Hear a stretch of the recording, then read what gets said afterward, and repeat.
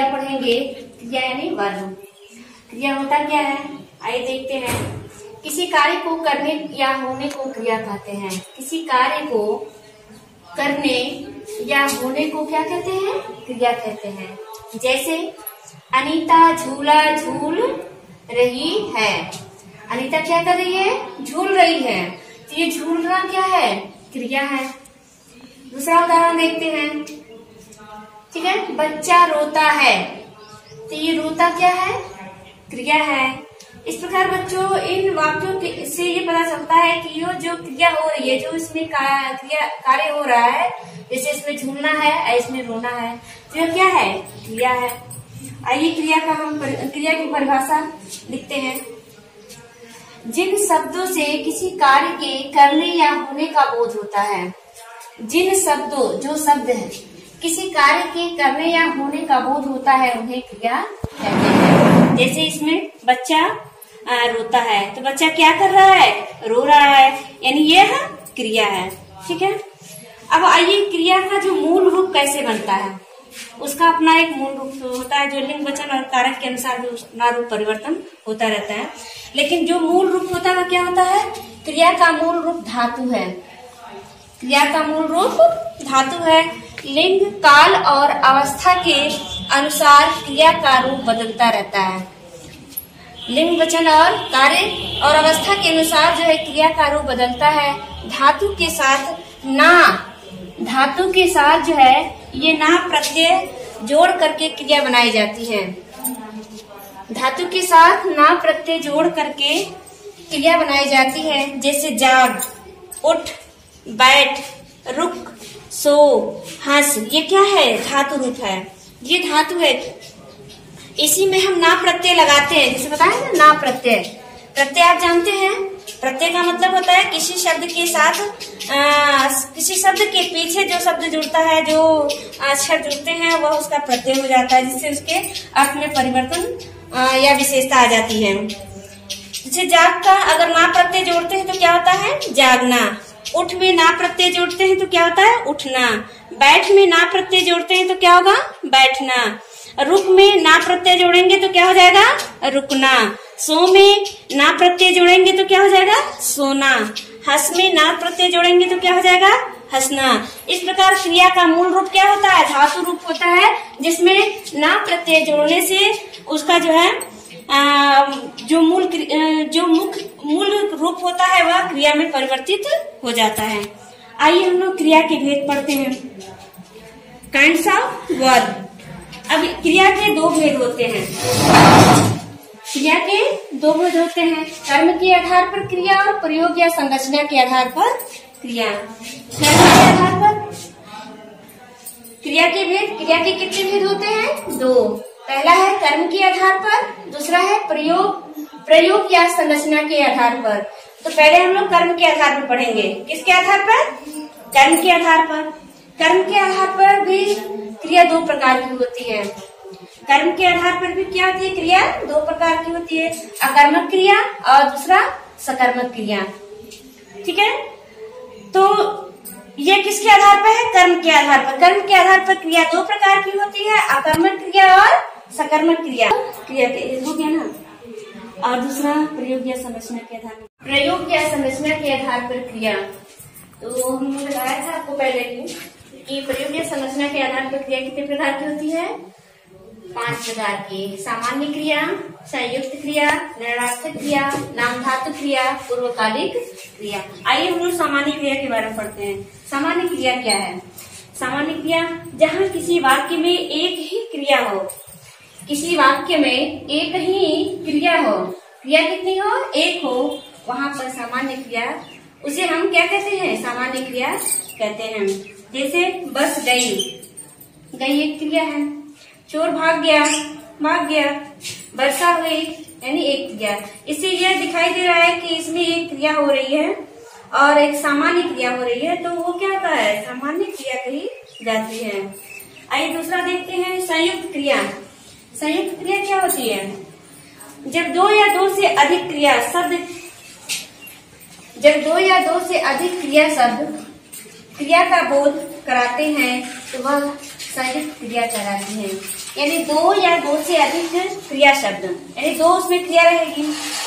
तो वह क्रिया का बोध करा रहे उसी कार्य का बोध करा रहे हैं, वहाँ पर संयुक्त क्रिया कहलाती है। जैसे राहुल बाज़ार चला गया, चला गया। दो क्रिया का बोध हो रहा है ना? एक ही कार्य को करने, एक ही वाक्य को पूरा करने के लिए दो क्रिया का प्रयोग किया गया है। चला चला भी क्रिया है और गया भी क्रिया है। यानी जब दो या दो से अधिक क्रिया शब्द क्रिया का बोध कराते हैं, एक ही कार्य का बोध कराते हैं, वहाँ पर संयुक्त क्रिया होती है। ठीक है? उसने गृह कार्य कर लिया। अब देखिए, कर और लिया। दो क्रिया है।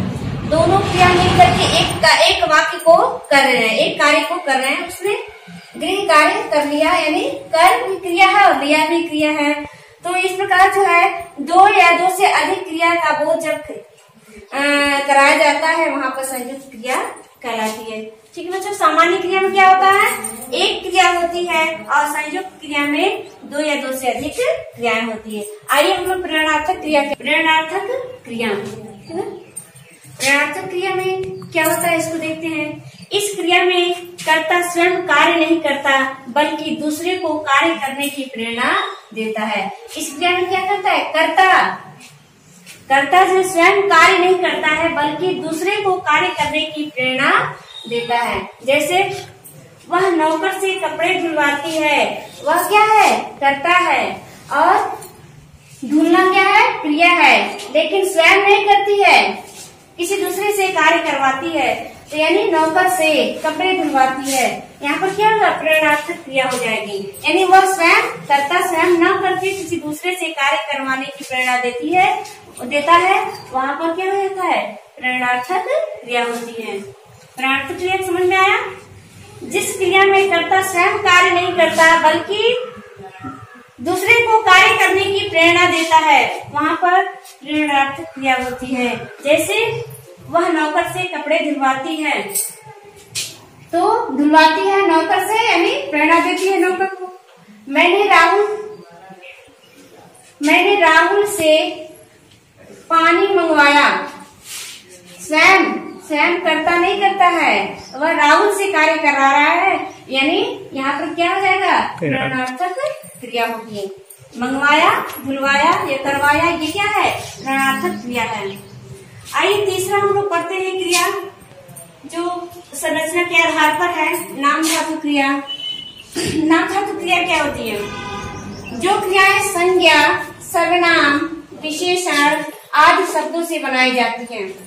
यानी जो क्रिया संज्ञा से बनाई जाती है, सर्वनाम से बनाई जाती है, विशेषण आदि से बनाई जाती है। उन्हें नाम धातु क्रिया कहते हैं। जैसे, किराएदार ने मकान हथिया लिया।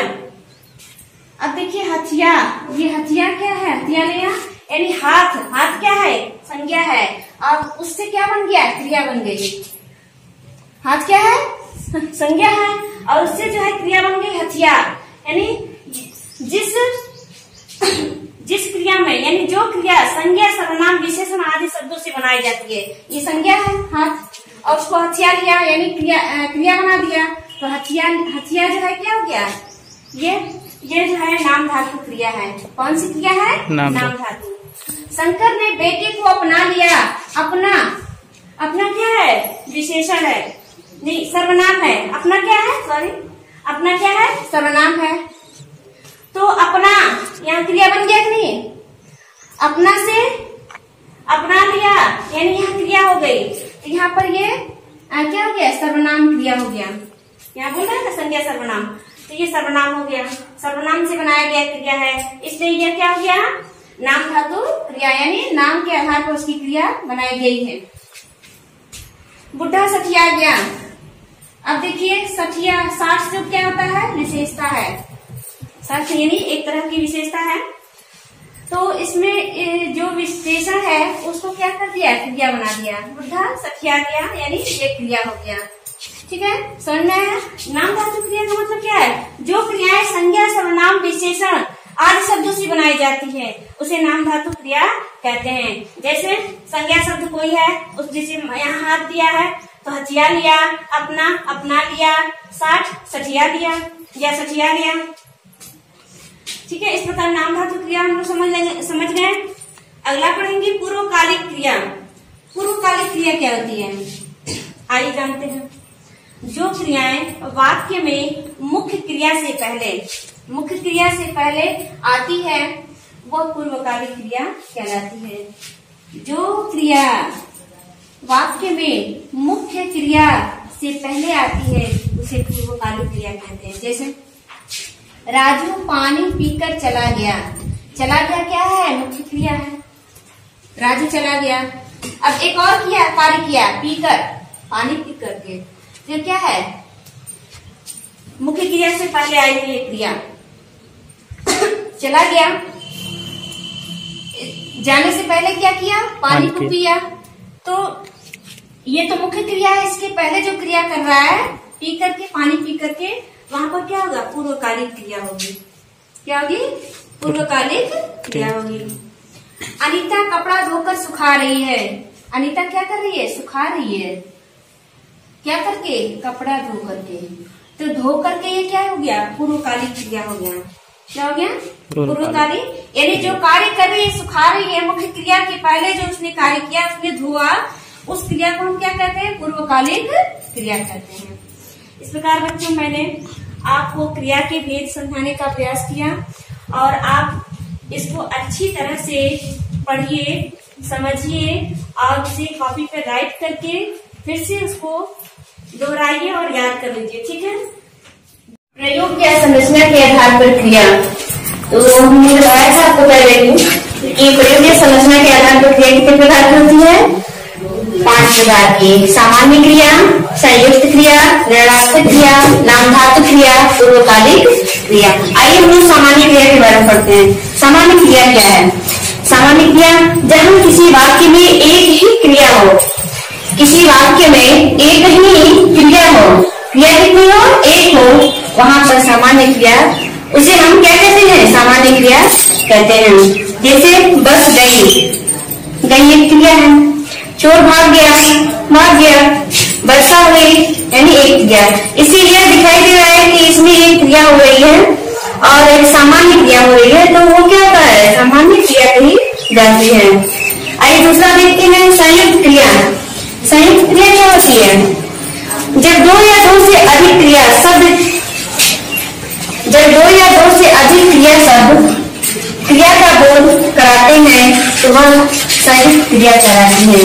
यानी दो या दो से अधिक क्रिया शब्द यानी दो से क्रिया रहेगी तो हम क्रिया का बोध करा रहे उसी कार्य का बोध करा रहे हैं वहाँ पर संयुक्त क्रिया कहलाती है। जैसे राहुल बाज़ार चला गया चला गया। दो क्रिया का बोध हो रहा है ना एक ही कार्य को करने, एक ही वाक्य को पूरा करने के लिए दो क्रियाओं का प्रयोग किया गया है भी क्रिया है और गया भी क्रिया है। यानी जब दो या दो से अधिक क्रिया शब्द, क्रिया का बोध कराते हैं, एक ही कार्य का बोध कराते हैं, वहाँ पर संयुक्त क्रिया होती है। ठीक है? उसने गृह कार्य कर लिया। अब देखिए कर और लिया। दो क्रिया है। दोनों क्रिया मिल करके एक का, एक वाक्य को कर रहे हैं। एक कार्य को कर रहे हैं। उसने गृह कार्य कर लिया, यानी कर क्रिया है और लिया भी क्रिया है। इस प्रकार है, दो या दो से अधिक क्रिया का जब कराया जाता है, वहाँ पर संयुक्त क्रिया कहलाती है। ठीक है बच्चों, सामान्य क्रिया में क्या होता है? एक क्रिया होती है और संयुक्त क्रिया में दो या दो से अधिक क्रियाएँ होती है। आइए हम लोग प्रेरणार्थक क्रिया प्रेरणार्थक क्रिया ऋणात्मक क्रिया में क्या होता है, इसको देखते हैं। इस क्रिया बल्कि दूसरे को कार्य करने की प्रेरणा देता है। इस क्रिया में क्या करता है कर्ता कर्ता जो स्वयं कार्य नहीं करता है, बल्कि दूसरे को कार्य करने की प्रेरणा देता है। जैसे वह मोटर से कपड़े धुलवाती है, वह क्या है? करता है। और धुलना क्या है? क्रिया है। लेकिन स्वयं नहीं करती है। किसी दूसरे से कार्य करवाती है यानी मौका से कपड़े धुलवाती है। यहाँ पर क्या होगा प्रेरणात्मक क्रिया हो जाएगी। यानी वो स्वयं, कर्ता स्वयं न करके किसी दूसरे से कार्य करवाने की प्रेरणा देती है। देता है, वहाँ पर क्या होता है? प्रेरणार्थक क्रिया होती है। प्रेरणार्थक क्रिया समझ में आया? जिस क्रिया में कर्ता स्वयं कार्य नहीं करता, बल्कि दूसरे को कार्य करने की प्रेरणा देता है। वहाँ पर प्रेरणार्थक क्रिया होती है। जैसे वह नौकर से कपड़े धुलवाती है। तो धुलवाती है नौकर से यानी प्रेरणा देती है नौकर को। मैंने राहुल मैंने राहुल से पानी मंगवाया। स्वयं स्वयं करता नहीं करता है। वह राहुल से कार्य करा रहा है। यानी यहाँ पर क्या हो जाएगा? प्रेरणार्थक क्रिया होगी मंगवाया, धुलवाया, या करवाया, ये क्या है? प्रेरणार्थक क्रिया है। आइए तीसरा हम पढ़ते हैं क्रिया। जो संरचना के आधार पर है, नाम धातु क्रिया। नाम धातु क्रिया क्या होती है? जो क्रियाएँ संज्ञा, सर्वनाम, विशेषण आदि शब्दों से बनाई जाती है। यानी जो क्रिया संज्ञा से बनाई जाती है सर्वनाम से बनाई जाती है, विशेषण आदि से बनाई जाती है। उन्हें नाम धातु क्रिया कहते हैं। जैसे, किराएदार ने मकान हथिया लिया। अब देखिए हथिया ये हथिया क्या है? हथिया लिया यानी हाथ हाथ क्या है? संज्ञा है। और उससे क्या बन गया? क्रिया बन गई। हाथ क्या है? संज्ञा है। और उससे जो है क्रिया बन गई हथियार। यानी जिस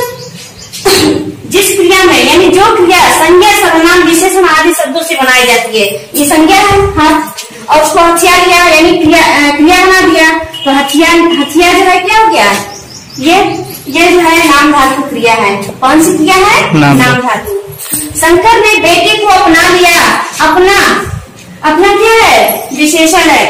नहीं सर्वनाम है। अपना क्या है? सॉरी अपना क्या है? सर्वनाम है। तो अपना यहाँ क्रिया बन गया कि नहीं? अपना से अपना लिया यानी यहाँ क्रिया हो गई। तो यहाँ पर ये आ, क्या हो गया? सर्वनाम क्रिया हो गया। यहाँ बोल रहे संज्ञा सर्वनाम। तो ये सर्वनाम हो गया। सर्वनाम से बनाया गया क्रिया है। इसलिए यह क्या हो गया? नाम धातु क्रिया यानी नाम के आधार पर उसकी क्रिया बनाई गई है। बुढ़ा सठिया ज्ञान। अब देखिए सठिया साठ क्या होता है? विशेषता है। साठ यानी एक तरह की विशेषता है। तो इसमें जो विश्लेषण है, उसको क्या कर दिया? क्रिया बना दिया। बुढ़ा सठिया गया, यानी ये क्रिया हो गया। ठीक है? समझ में नाम धातु क्रिया का मतलब क्या है? जो क्रियाएँ संज्ञा, सर्वनाम, विशेषण आदि शब्दों से बनाई जाती है, उसे नाम धातु क्रिया कहते हैं। जैसे, संज्ञा शब्द कोई है, उस जैसे यहाँ हाथ दिया है तो हथिया लिया, अपना अपना लिया, साठ, सठिया लिया, या सठिया लिया। ठीक है, इस प्रकार नाम धातु क्रिया हम लोग समझ समझ गए? अगला पढ़ेंगे पूर्वकालिक क्रिया। पूर्वकालिक क्रिया क्या होती है? आइए जानते हैं। जो क्रियाएँ वाक्य में मुख्य क्रिया से पहले, मुख्य क्रिया से पहले आती है, वह पूर्वकालिक क्रिया कहलाती है। जो क्रिया वाक्य में मुख्य क्रिया से पहले आती है, उसे पूर्वकालिक क्रिया कहते हैं। जैसे राजू पानी पीकर चला गया। चला गया क्या है? मुख्य क्रिया है। राजू चला गया। अब एक और किया कार्य किया पीकर। पानी पी करके फिर क्या है? मुख्य क्रिया से पहले आई है ये क्रिया। चला गया। जाने से पहले क्या किया? पानी को पिया। तो ये तो मुख्य क्रिया है इसके पहले जो क्रिया कर रहा है पी करके पानी पी करके वहाँ पर क्या होगा? पूर्वकालिक क्रिया होगी। क्या होगी? पूर्वकालिक क्रिया होगी। अनिता कपड़ा धोकर सुखा रही है। अनिता क्या कर रही है? सुखा रही है। क्या करके? कपड़ा धो करके। तो धो करके ये क्या हो गया? पूर्वकालिक क्रिया हो गया। क्या हो गया? पूर्वकालिक। यानी जो कार्य कर रही है सुखा रही है मुख्य क्रिया के पहले जो उसने कार्य किया उसने धोआ उस क्रिया को हम क्या कहते हैं? पूर्वकालिक क्रिया कहते हैं। इस प्रकार बच्चों, मैंने आपको क्रिया के भेद समझाने का प्रयास किया और आप इसको अच्छी तरह से पढ़िए, समझिए और उसे कॉपी पे राइट करके फिर से उसको दोहराइए और याद कर लीजिए